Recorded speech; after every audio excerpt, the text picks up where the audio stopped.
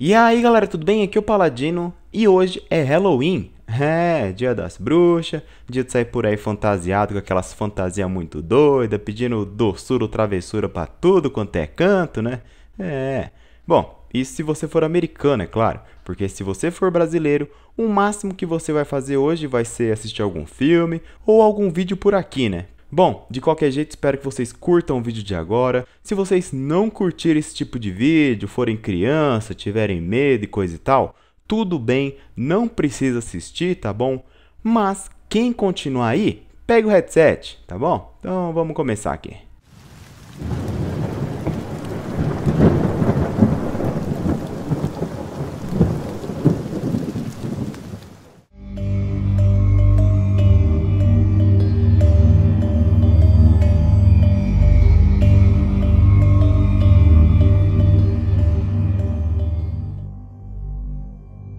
GTA V é o melhor jogo que joguei na vida. Seus personagens, seus gráficos, sua história sempre me chamaram muita atenção e me fez jogar por horas no meu PlayStation 3.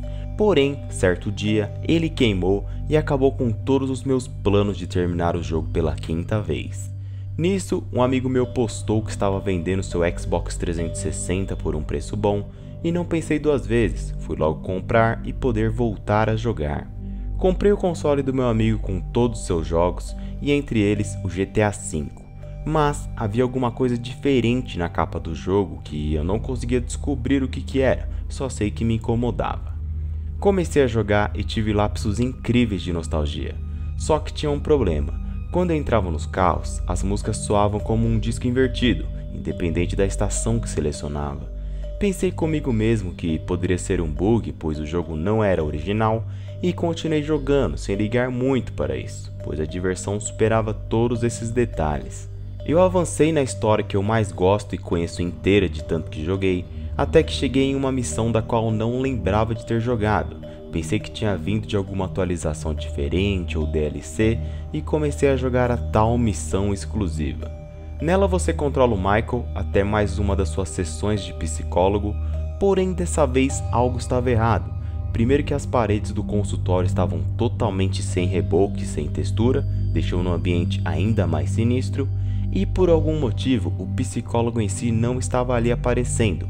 Ele falava, Michael reagia e respondia, mas a imagem dele não estava ali presente, como se o jogo realmente tivesse bugado. Na hora que o Michael saiu de lá, apareceu um ícone no mapa com as letras TV.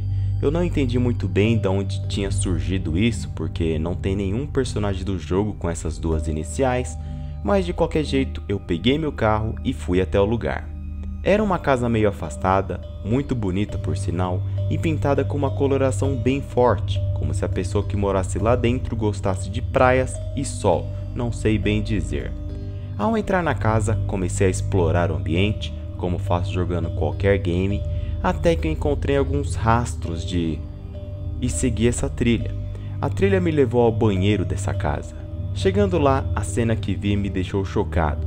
Havia por toda a parte e membros de um personagem que parecia estar usando uma roupa bem colorida, bem de praia mesmo. Havia um item nesse ambiente, era uma carta.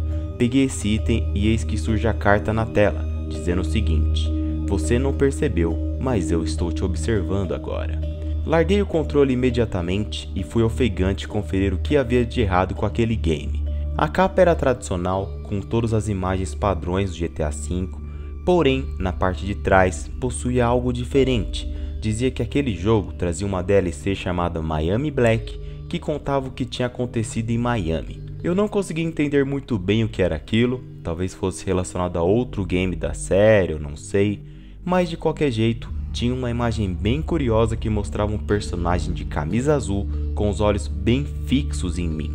Mesmo sem entender, continuei jogando e quando virei para a tela, o meu personagem estava recebendo uma ligação.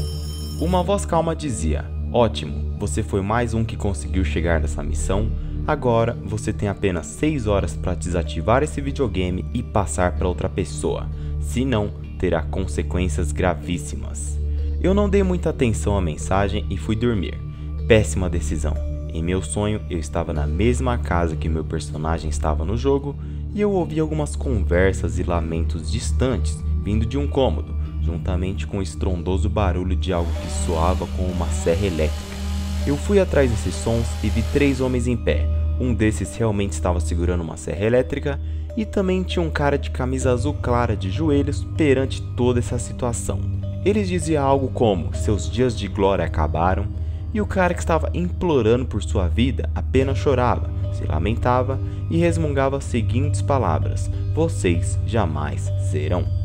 Quando o rapaz de camisa branca liga a serra elétrica novamente, eu acordo assustado, olhando para os lados para tentar entender o que estava acontecendo. O videogame estava ali, a televisão estava desligada, aparentemente tudo normal.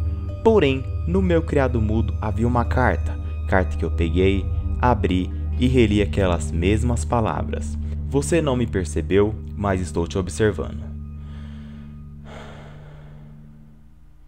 Eu comecei a suar, ficar nervoso, eis que eu viro para o meu lado e